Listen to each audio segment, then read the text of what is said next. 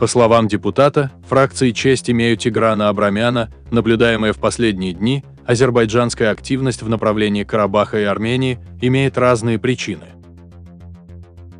Депутат от оппозиции сделал несколько замечаний на эту тему.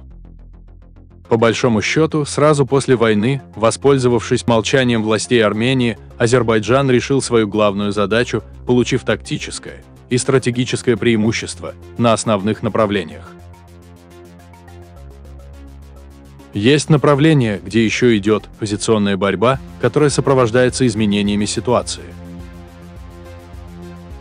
Азербайджан использует свои позиционные преимущества и постоянно напоминает властям Армении, что если обещанные и устные письменные договоренности не будут выполнены, то на первый план вновь выйдет применение силы в разных масштабах.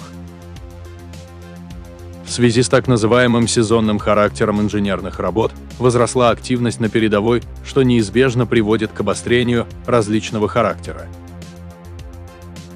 Азербайджан рассматривает любое движение наших вооруженных сил от внутренней реорганизации до инфраструктурной смены линии фронта как попытку реванша и показывает, что готов остановить его любой ценой.